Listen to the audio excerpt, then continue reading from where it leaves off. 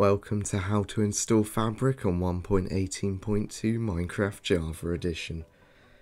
Today we are going to install Fabric. We will need the Minecraft launcher, Google Chrome and File Explorer.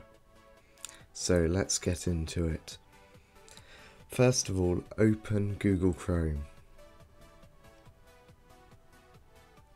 and go into the description and copy the Fabric MC link and paste it into your URL bar.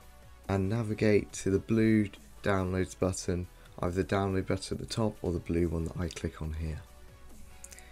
Now select which version you're on. If you're on Windows, Mac, Linux select that. Here I'm on Windows so I'm just going to hit the thing at the top. It says download for Windows. There we go, we'll see it starting to download in the bottom left. Once it's finished downloading, click open when done.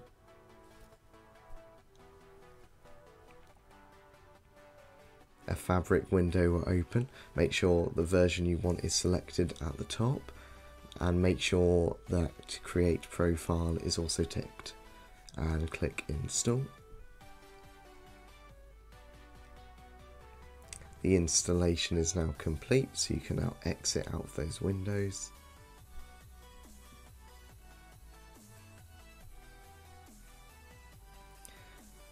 Now minimize that tab and open the Minecraft launcher, where you should see a Fabric MC profile displayed and ready to be played. Now hit play.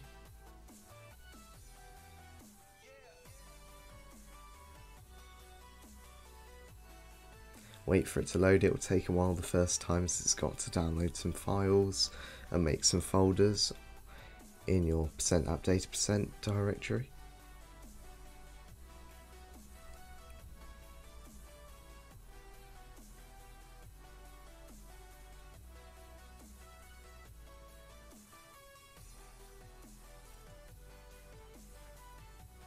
There we go, it started to open for me now.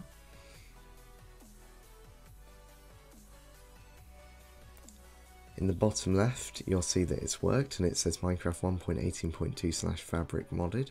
That means everything you've done so far is right. Now I am going to show you how to install mods. So go down to the bottom bit of your taskbar, click the search icon and search for percent app data percent.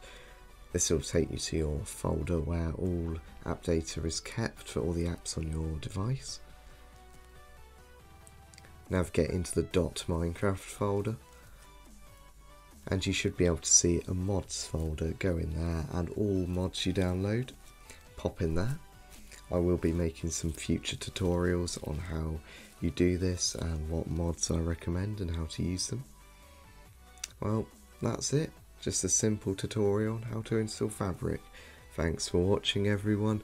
Please hit the subscribe button. Goodbye.